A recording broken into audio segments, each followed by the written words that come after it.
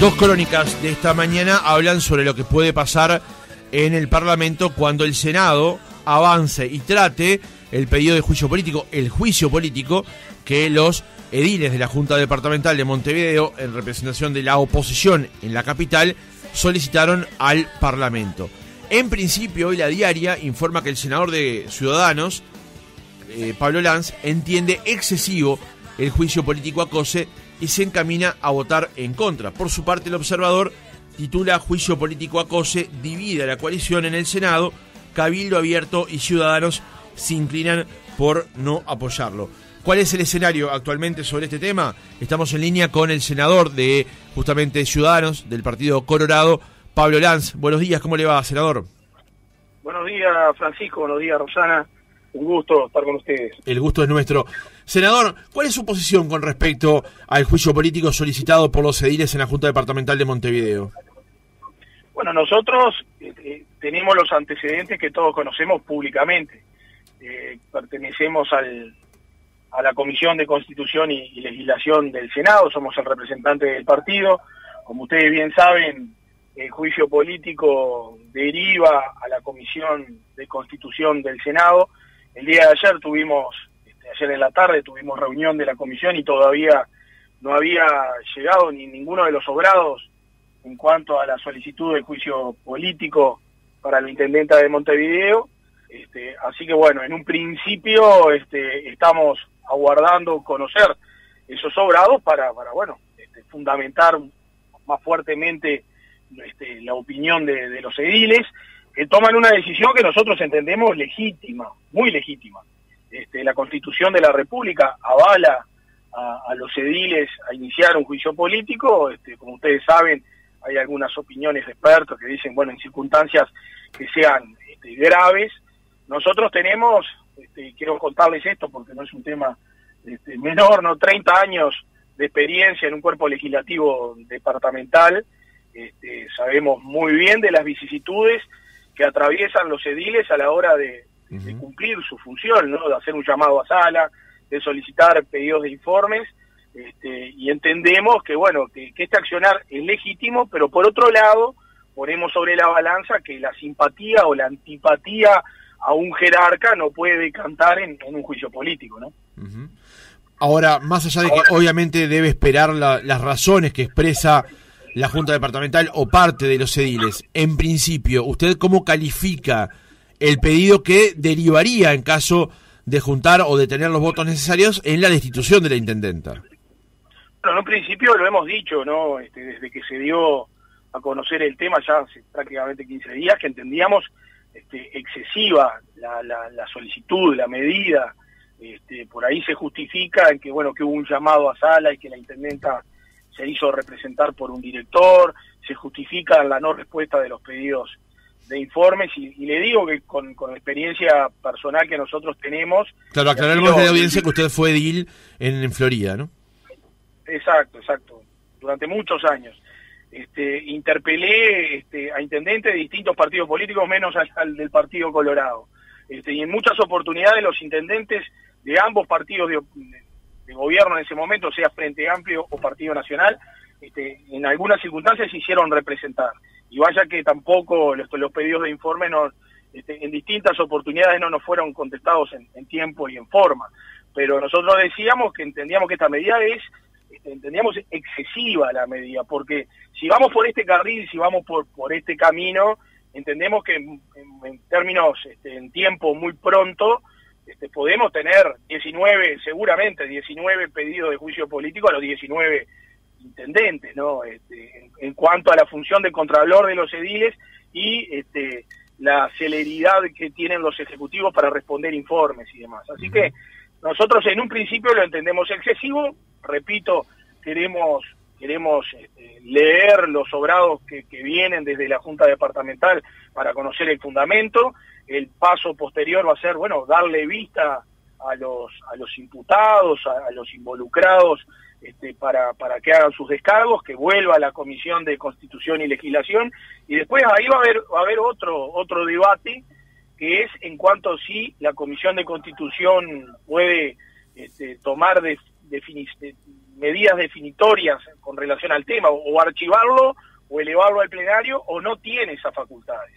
Porque recordemos que las comisiones este, del Senado de la República son asesoras del cuerpo, y aquí estamos ante una instancia este, de iniciativa constitucional, por tanto, ahí tenemos dos bibliotecas donde alguien, y yo me, incluyo, entendemos que es el plenario del Senado, o sea, la, el, este, en, en, sesión de Senado se debe de resolver esto y otros este, pueden entender que la comisión puede o aprobarlo y elevarlo o archivarlo.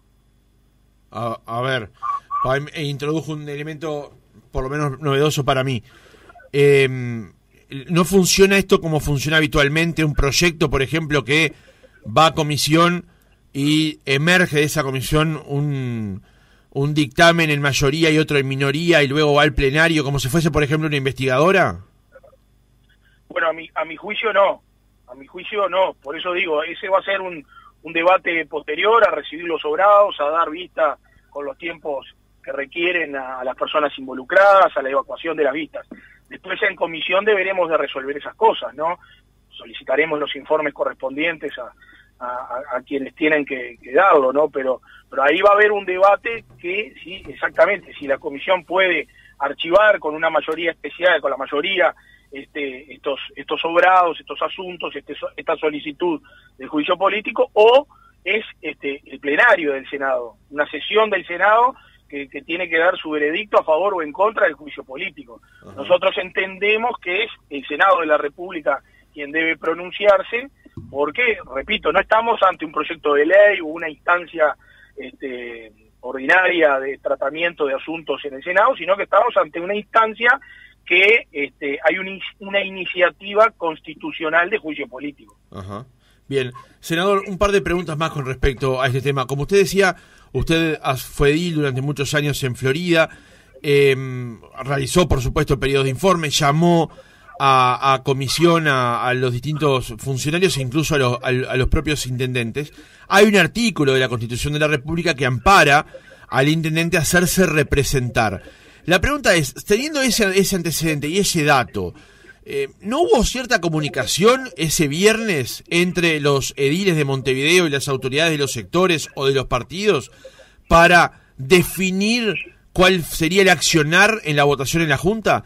Se lo pregunto porque bueno, el título del observador es muy elocuente con respecto a esto esta mañana, que es que de alguna manera se embreta a los senadores a tomar una decisión con respecto a la intendenta de Montevideo y al juzgar, por lo que venimos recogiendo hasta ahora, los votos para destituirla, que además no se alcanzarían por una mayoría, por una cuestión de mayorías, tampoco estarían dentro de la propia coalición, lo que eventualmente arrastraría a la coalición a, un, a una diferencia interna. Bueno, a ver, este, ese viernes, este, en realidad nosotros como partido político, como sector, como senador de la República, este, no fuimos consultados, ¿no? Este, inmediatamente en conocimiento público de, la situación, nosotros nos pusimos en, contacto con, nuestros ediles y, bueno, le consultamos a ver este, de qué se trataba, cómo, cómo, cómo era y cuál era el fundamento de la solicitud del juicio político y nuestros ediles nos trasladaron también sus dudas en cuanto a, seguir adelante o no con el, con el juicio político. Nos decían, bueno, es una, es una decisión solicitada dentro de los términos de la, de la coalición de gobierno, pero en resumidas cuentas, este, ayer nos enteramos que los ediles de Ciudadanos este, no firmaron la solicitud de juicio político. Por tanto, este, bueno, no es la unanimidad de la coalición de gobierno este tema, sin lugar a dudas, este, no queda circunscrito únicamente dentro del ámbito de la Junta Departamental y por tanto yo creo que debería de haber, haber sido este, de consulta, este, por lo menos en el orden político partidario, ¿no? este, más allá que este tema después termina en el Senado de la República, pero bueno, repito, ¿no? Este, yo estuve en contacto este, en el día de ayer con, con el edil Fachola, que es el edil de Ciudadanos, este, bueno, me, señaló que él definitivamente no había firmado, con el fundamento de que entendíamos que la medida era excesiva, ¿no? Como, como nosotros lo hemos señalado este, durante todos estos días. Ahora, Ahora, senador, eso de alguna manera no cuestiona también el accionar de ciudadanos, porque primero lo vota, después no lo firma y su senador, uno de sus senadores ahora plantea que no lo votaría, que le parece excesivo. No, para nada, yo no lo entiendo, no, no lo entiendo, así, digo, a ver, este, de todas formas lo haya firmado o no lo haya firmado, este tema tiene que ser este, dirimido en el seno del, Senado de la, de la República, acá se está solicitando un juicio político a un ciudadano que fue electo legítimamente, democráticamente por, por el pueblo, por eso hay que tener ciertos reparos, este, detenernos y consideraciones, porque son asuntos realmente graves, ¿no? Y, como yo decía al principio, podemos este, generar un antecedente que el juicio político se desvirtúe y sea una herramienta cotidiana que sin lugar a dudas los 19 intendentes departamentales, por lo menos en un principio, serían este, juzgados o pretendidos jugar por, por, por, sus cuerpos o por la oposición de los cuerpos legislativos. Este, Ciudadanos este, eh, tomó una decisión en la Junta Departamental durante el debate de si se instaba al juicio político o no. Este, los, los ediles decidieron no acompañar, este, va a llegar al Senado de la República, pero nosotros, este, más allá de esa decisión, vamos a, detenernos en el contenido del expediente, de esos obrados, de, los fundamentos, para saber claramente cuáles son los motivos. Y ahí daremos nuestro juicio final. No estamos diciendo de que vamos a votar ni a favor ni en contra, simplemente que vamos a estudiar el tema con, con detención porque, bueno, es un tema grave, ¿no? Senador, ¿han tenido la posibilidad de hablar con, con los ediles últimamente? Porque de alguna forma, tanto su postura como la de, la de Carmen Sanguinetti significan de alguna manera soltarle un poco la mano a los ediles. ¿Cómo puede afectar esto a la interna del partido?